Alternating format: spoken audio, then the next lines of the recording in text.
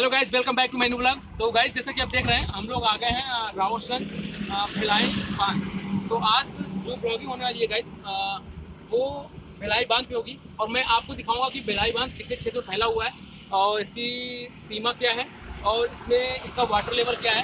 तो आइए चलते हैं और जानते हैं और इस भिलाई बाँध का यूज़ क्या है। आई I मीन mean, कि ये बाँध का जो वाटर है जो पानी है वो सप्लाई कहाँ कहाँ किया जाता है। तो आइए चलते हैं और गाइज़ फाइनली हम लोग भिलाई डैम पे आ गए हैं। और जो ये व्यू है भिलाई डैम का है जैसा कि आ, मैंने आपको भी नीचे बताया। और इसका देखिए गाइज़ ये जो देख रहे हैं ये भिलाई डैम का क्षेत्रफल।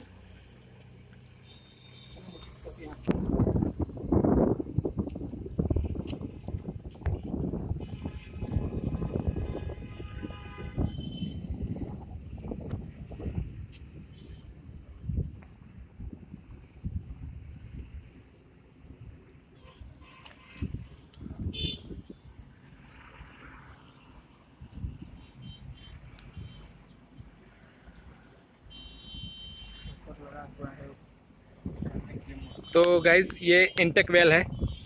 ये यहाँ से पानी ऑपरेट किया जाता है।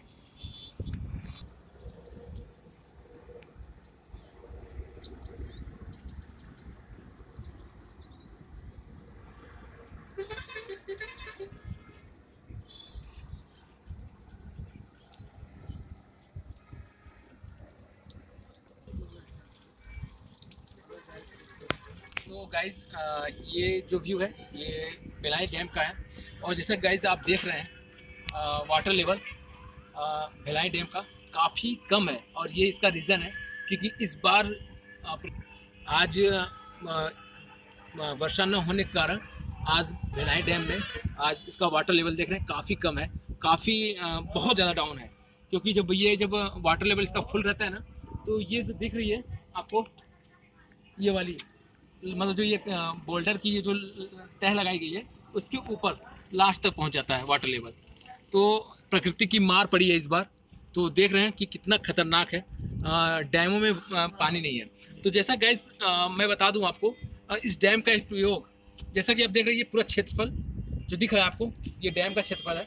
और वो देखिए शायद यादव जी की, यादव जी का पोल्ट्री फार्म है.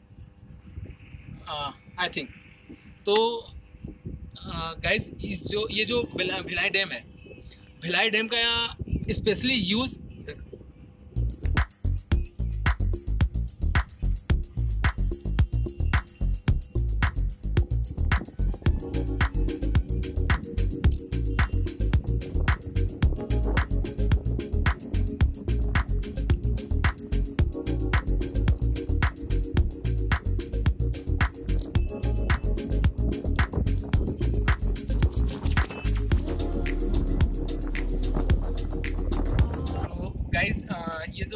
बाँध का स्पेशली यूज़ है, वो स्पेशली नगर रावशन नगर की सप्लाई के लिए किया जाता है। देन आपका पॉलिटेक्निक कॉलेज आईटीआई कॉलेज और सर्किट हाउंड डीएससी कार्यालय एंड जिला कार्यालय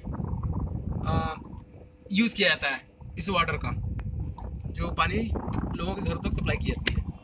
तो बहुत ही इम्पोर्टेंट हिस्सा है ये रावस्टन के रावस्टन क्षेत्र में आता है और रावस्टन के लिए ये डैम बहुत ही यूज़फुल है। और आइए दिखा, आपको मैं ले चलता हूँ। जहाँ से जहाँ से वाटर सप्लाई किया जाता है, पानी सप्लाई किया जाता है।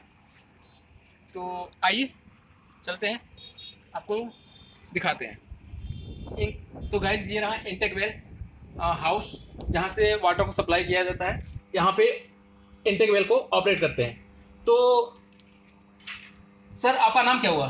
सर हमारा नाम धीरेन्द्र कुमार सिंह पड़ेगा अच्छा तो सर आप इंटेक वेल हाउस को ऑपरेट करते हैं? जी जी जी यहाँ पे मोटर लगा हुआ है पानी में और अच्छा। स्टार्टर है हमारे पास। अच्छा वो स्टार्टर है बड़े बड़े हाँ? हाँ हाँ इसी के माध्यम से हाँ। पानी यहाँ से ऑपरेट किया जाए मोटर चलाया अच्छा जाए मोटर कहाँ है? मोटर पानी में। तो जैसा कि गाइज़ आप देख रहे हैं ये इंटेग्रेल हाउस है और ये सर हैं ऑपरेट करते हैं यहाँ। अच्छा सर इसका इस डैम का स्पेशली यूज़ क्या क्या है स्पेशली ये इसका पानी जो है भैया पूरे नगर में पेयजल हेतु सप्लाई किया जाता है। अच्छा। जैसे हमारे जिला अधिकारी कार्यालय के परिसर में। हम्म। और हमारे पूरे नगर में जितने भी नगरवासी हैं उनको ये स्वच्छ जल पिलाया जाता है। ये आपका बगल सर्किट हाउस पे जाता है पॉलिटेक्निक कॉलेज ऐसे तो भी कई जगहों पे हम लोग यहाँ से पानी सप्लाई का कार्य कराते हैं। काफ़ी यूजफुल है। जी जी जी। और सर ये वर्ष जैसा कि इस बार देख रहे हैं कि डैम काफ़ी खाली पड़ा हुआ है। यानी प्रकृति की मार पड़ी हुई है लगता है मुझे। जी। और जी बिल्कुल है क्योंकि इस बार खेती किसानी भी पूरी तरह से ध्वस्त पड़े हुए हैं बारिश की वजह से। तो नहीं तो काफ़ी अच्छा इसका वाटर लेवल रहता। जी जी जी। इसमें बरसात बहुत कम हुआ है भैया। बरसात कम होने के कारण ऐसी स्थिति है। नहीं तो हमारा यदि प्राकृतिक अच्छा से पानी बरसात हो जाए तो ये साल भर के लिए पर्याप्त है। एक बार यदि हमारा बंधा बाँध भर जाता है तो साल भर पानी चलता है।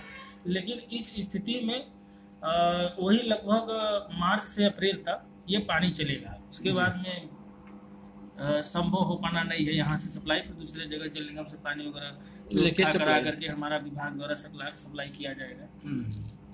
ओके थैंक यू तो गाइस जैसा कि आप देख रहे हैं ये मोटर्स वगैरह लगे हुए थे पुराने समय के। हाँ हाँ ये ये पुराने पुराने समय के। तो इसे निकाल दिए गए हैं और इसे अपग्रेड किया गया है। हम्म। जैसा ये देख रहे हैं मोटर्स है।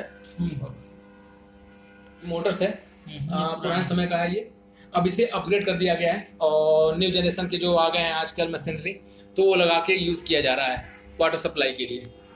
तो आ, जैसा कि मैंने आपको भिलाई बाँध से रूबरू कराया तो गाइज़ अगर वीडियो अच्छा लगे तो this is like share subscribe करें, क्योंकि फ्रेंड्स वीडियो बनाने में बहुत ही मेहनत लगता है। तो सो प्लीज़ आपसे हमली रिक्वेस्ट है कि वीडियो को पूरा देखें स्किप न करें और अंत तक देखें और भाई को सपोर्ट करें। Okay friends bye bye see you take care